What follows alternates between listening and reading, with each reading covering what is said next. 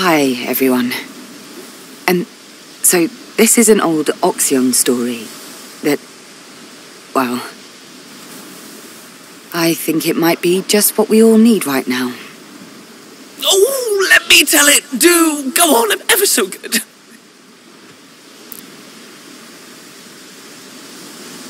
Pragmatic is my middle name. Not really, of course. It's Suzanne. Um, At first, there was nothing. At first, there was nothing. Very nice, good diction. There was nothing for a very long time indeed. And then there was me. Chaos was born! The first aspiration born from humanity. You see, we're not creators, we're not gods, we're concepts. Your concepts, made real by the collective subconscious.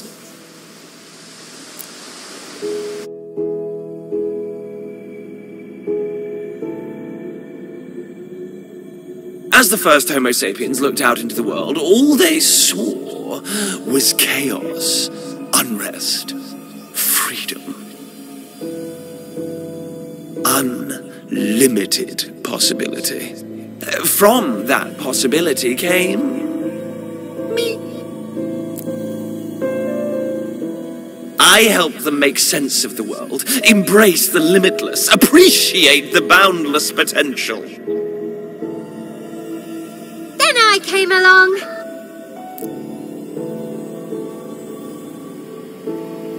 I taught humanity how amazing community could be. How sticking together made everything a little bit nicer, you know? Every time you lot take a new turn, one of us lot is bored.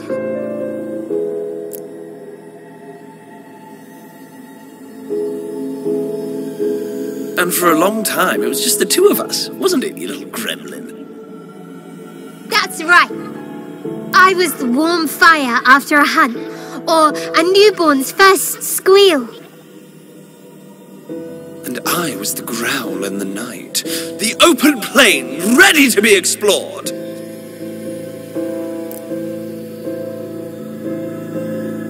And after that, well, Well, indeed. Things may have gotten a little out of hand.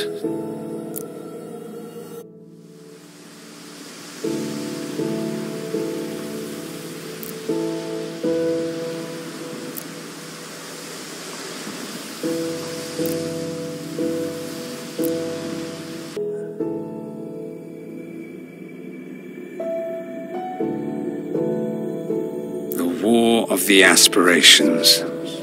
Hmm. It began. I cannot say how it began. Several have claimed the title of instigator. But the first blood was drawn between chaos and power. That doesn't surprise me. In a sense, it was inevitable. By our very nature, we attract opposition. Chaos desired greater freedom for reverie, and so they hoped to abolish the heart. Power disagreed. His army lay siege to the labyrinth of chaos. Army? Power mentioned something about an army before. With enough egregor, we are able to conjure familiars, or split ourselves into a thousand willing facets. Power used both. But chaos laid their traps well, and their trickery ate away at power's advance.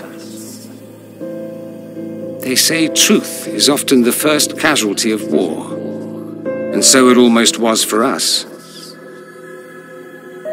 They attempted to break the deadlock, on whose side I cannot recall, and they paid a heavy price. For my own part, I tried to stem the tide of hostility, but no one would listen. Those were dark days indeed.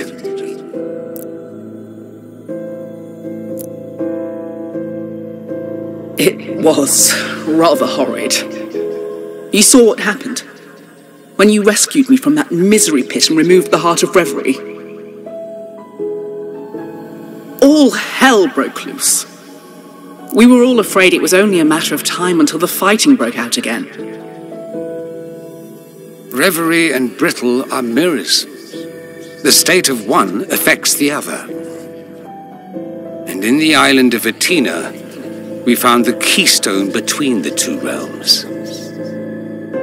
Was it we who caused the downfall of the Oxyons? Was it the waning of their culture that forced us to war? Impossible to know. The bond between our realms is not a single strand, but an endless sea of connections.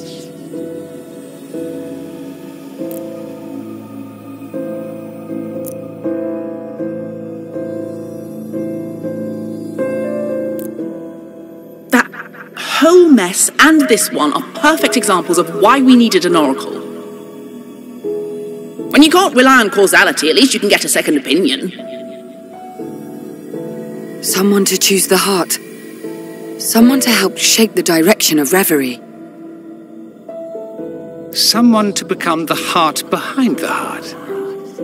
An observer and a guide.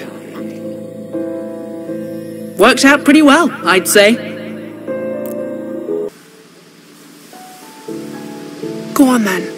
You've got them in the palm of your what's-it. Don't lose them. Maybe talk about the first oracle. What were they like? Why did they choose who they chose?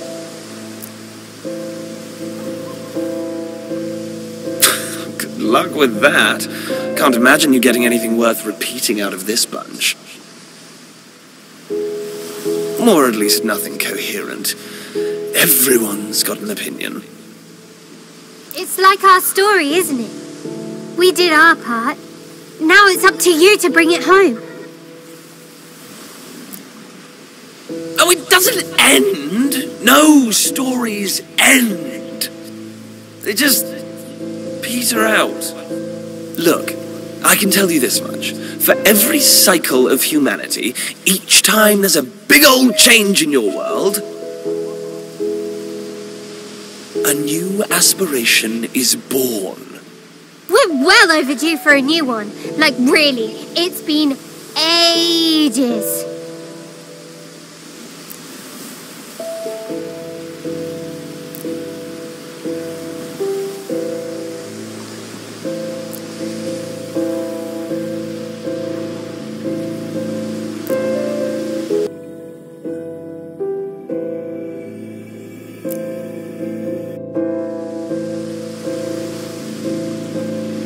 Truth is, I don't know what happened next.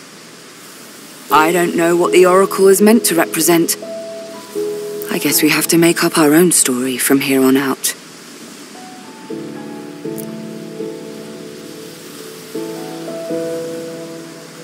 Oxyon writings tell of a final oracle. A chosen one, for lack of a better term. Deities, the aspirations Polly spoke of, all of them were waiting for this final piece of the puzzle. They called this oracle Harmony. They referred to every oracle this way, hoping against hope that this time the title would stick. Hoping for the moment an oracle would become one of them, an aspiration.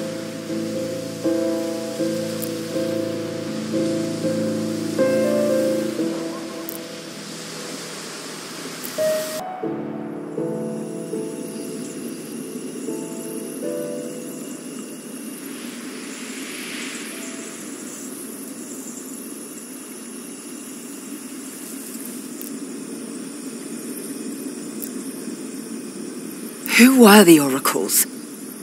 How did you choose them? Did you even choose at all? What do you want from me? Really?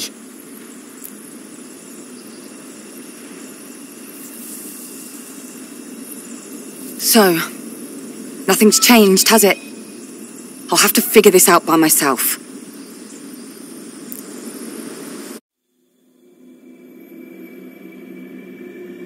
Harmony, wait!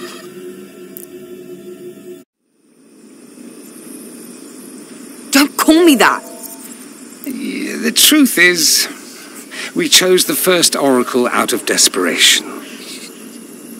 We needed them. We needed their guidance. We needed an end to the war. An end we were unable to bring about ourselves. So, that's who they were? A tool? Initially, yes. But then, well, we realized you're all right, you lot. Humanity. You may not believe this, but it turned out we'd been so obsessed with our own affairs that we'd completely overlooked everything in Brittle. And so the arrangement became permanent, and the oracles became a guiding hand on the rudder of reverie. Not leaders, but advisors. Major domos. Producers. Friends! But what about me? What do you want from me? That, I'm afraid, is up to you. What kind of oracle you choose to become is not up to us. It is the very nature of the agreement that you continue as your own person. Right? Right.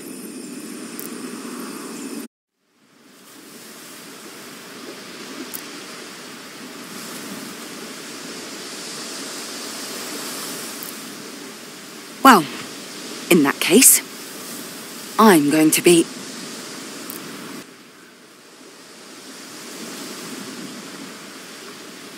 As the Oracle, I want to be empathetic. As the Oracle, I want to feel what others feel and consider how others will react. Every decision must be for the benefit of the many, not the few.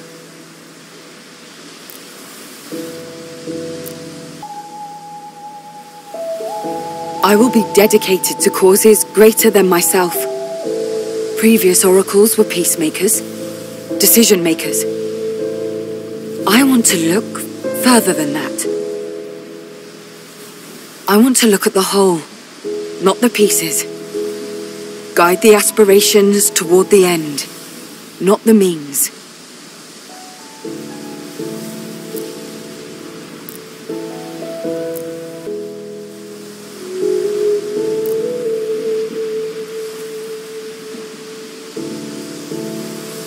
Other oracles who took this road. The very first, in fact. They built the sanctuaries, private places, where each aspiration could be separate from the others. Places where we could feel safe, unthreatened. The war did not end immediately, but its intensity lessened as we were given the space for rational thought.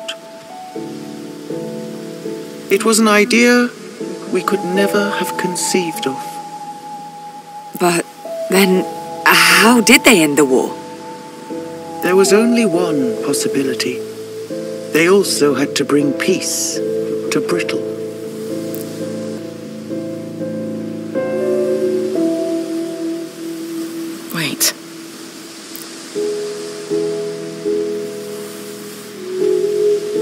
That sounds like a pretty lousy way to end a war.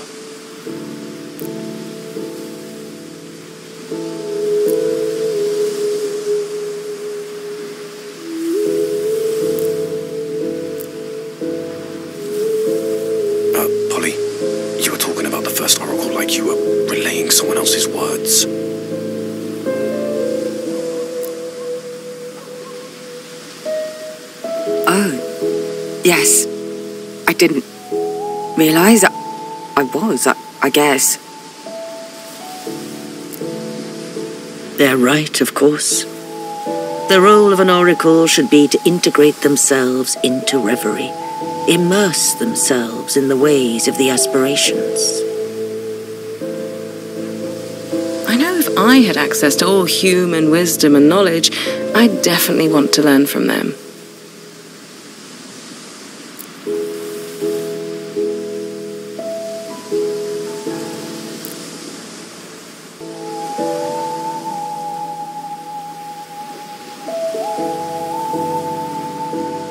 The first Oracle split their time between the realms. They learned from the aspirations, but also their fellow humans. This was their skill. Duality of perspective. But to end the war in Brittle, they had to rely on reverie. They listened to the aspirations, individually and together. And in the end, they gave the Oracle a gift. A way to bring peace to Brittle.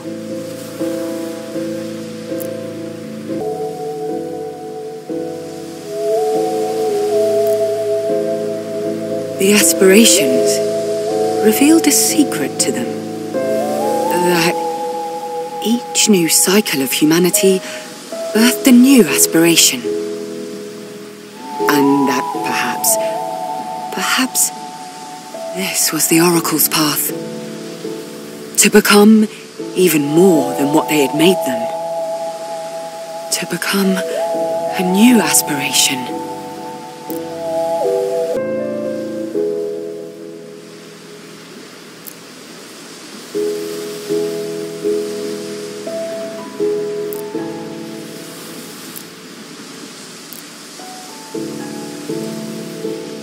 This was back when Atina was facing its darkest days.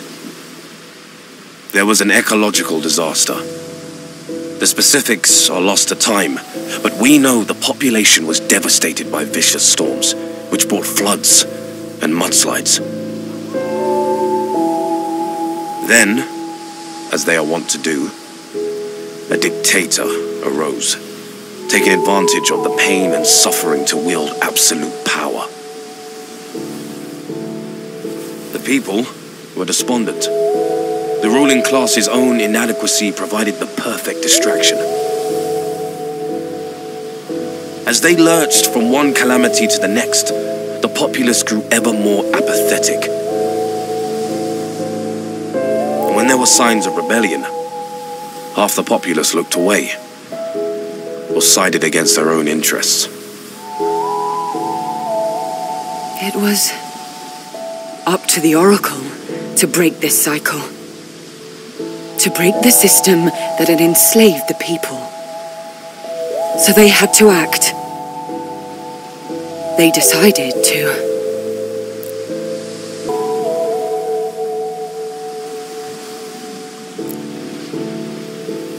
The Oracle had faith in the people to dig themselves out. They pursued a path of knowledge, teaching the populace a different way to live. The foundations of new forms of government were built, curiosity reigned, and people studied the world around them. What's more, people shared their knowledge. They didn't secret it away or censor it. They taught one another. This gave them more power through the sum of that knowledge. They decided to... They decided to start again, thanks to the gift of prescience. The Oracle and a select few decided to begin a new cycle, outside of the old. They believed Atina had become unsalvageable. That they had to instead create the world they wanted to live in.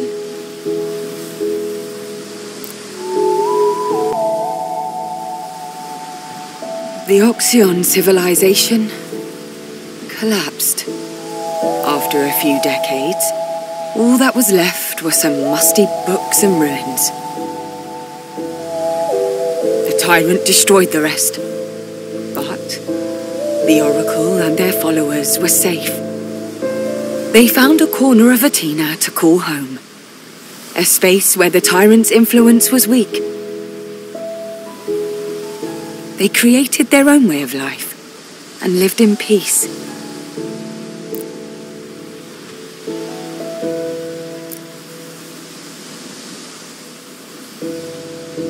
Great!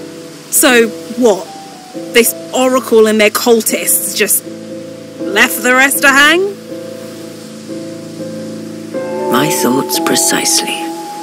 And they thought this tyrant would just let them be.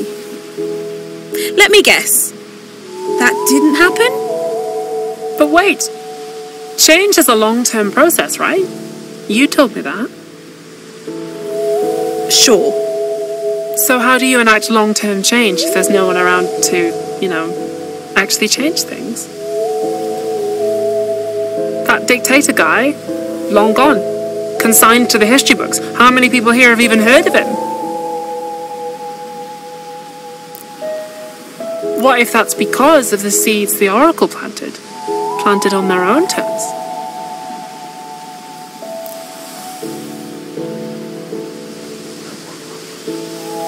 Yeah. Yeah, maybe you're right. So go on then. Which aspiration are you going to choose? Who becomes the heart?